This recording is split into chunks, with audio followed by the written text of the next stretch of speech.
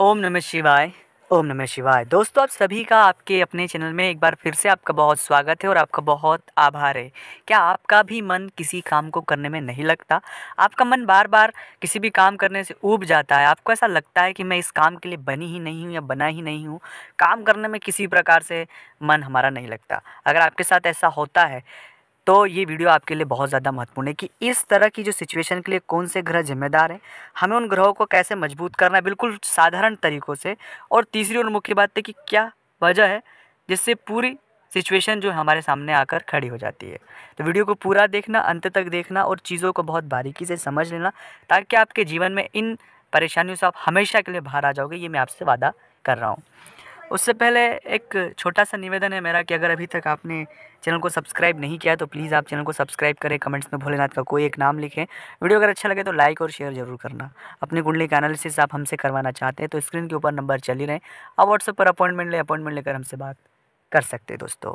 सबसे पहली और मुख्य बात है कि जब ये प्रश्न उठता है कि ये जो काम हम कर रहे हैं, इसमें हमारा मन नहीं लग रहा, ये काम हम नहीं कर पाएँगे। हमें आलसी आना शुरू हो जाती है। हम उस जगह से उठकर कहीं जाना चाहते हैं।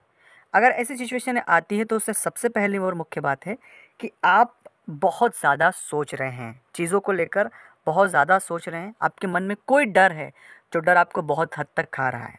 तो पहली बात, अगर इस चीज़ को, पहला पॉइंट अगर आपको सही करना है तो जो हमारा काम हम कर रहे हैं उसे छोटे भागों में विभाजित कर दें। थोड़ा कम कम कम और कम, जितने भी छोटे भाग ताकि आपको लगेगा कि बस इतना सा तो करना है, और जब हम इतना इतना करके पूरा काम बहुत आसानी से कर सकते हैं और मन को भी लगा सकते हैं। इसमें महत्वपूर्ण जो भाग होता है वो राहु का होता है। राहु हमेशा हमें डाइवर्ट करना चाहता है, केतु भी जो है हमें हमेशा डाइवर्ट करना चाहता है। हमें वो स्थिर नहीं रहना, रहने देना चाहता है, क्योंकि अगर आप स्थिर हो जाएँगे तो आपके सभी चीज़ें पॉजिटिव वे में हो जाएगी। तो आपको भ्रमित, डिस्टर्ब करने का उसका बहुत हद तक योगदान होता है। इसलिए कभी भी इस तरह की सिचुएशन में है तो समझना कि राहु एक्टिव है और राहु अगर एक्टिव है तो आपको बहुत बड़ी परेशानी में छोड़ कर चले जाएगा। और उससे बाहर आने का तरीका है कि अपने काम को पहले तो पहली प्राथमिकता दे। दूसरी बात कि उस काम में आलस से करना नहीं है। तीसरी बात है कि अपने काम में अगर आपको ऐसा लग रहा है कि नहीं कर पा रहे तो छोटे छोटे कामों में उसे विभक्त कर दें छोटे छोटे तरीक़ों में विभक्त करके उस काम को करें। चौथी बात है, खुद को बहुत ज़्यादा पॉजिटिव रखें।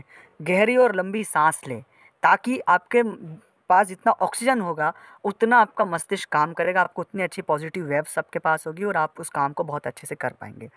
चौथ पाँचवीं बात है नेगेटिविटी से दूर रहें, नकारात्मक लोगों से दूर रहें और सबसे महत्वपूर्ण बात, खुद पर यकीन करें और अपने डर से ज़्यादा अपने भोलेनाथ पर विश्वास करें। आप अपने डर पर जितना यकीन कर रहे हैं, उससे ज़्यादा अपने भोलेनाथ पर यकीन करें। दोस्तों, आपका हर काम में मन लगे और आपको सफलता मिलेगी।